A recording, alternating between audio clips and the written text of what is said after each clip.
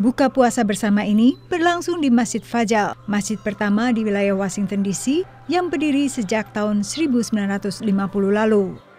Jamaah Masjid Ahmadiyah ini melakukan buka bersama dalam suasana peringatan Hari Kemerdekaan Amerika Serikat yang ke-239 dengan berbagai atribut kebangsaan serta upacara kecil di depan masjid mereka. Sedangkan para muslimahnya secara terpisah menyanyikan lagu berbahasa Urdu yang bertema kebersamaan. Sebagai warga imigran, peringatan kemerdekaan bagi warga Ahmadiyah merupakan wujud nasionalisme serta loyalitas mereka kepada Amerika sebagai negara mereka yang baru.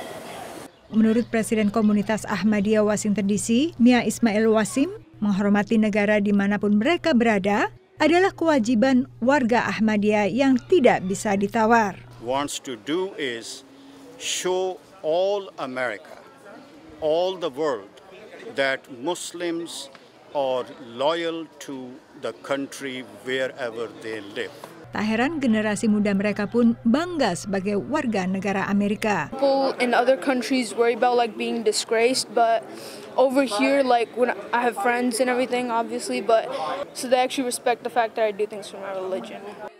Sebagian remaja yang baru menjadi imigran di Amerika juga menyatakan rasa syukur mereka. Like people respect you for who you are. They don't judge you based on what you're wearing or how you dress up or how you look. So that's basically I, I love being here. Dalam buka puasa bersama yang menyajikan makanan khas Pakistan ini, para hadirin juga melakukan sholat maghrib serta isya dan taraweh bersama. Dari Washington DC, Yuni Salim dan tim VOA.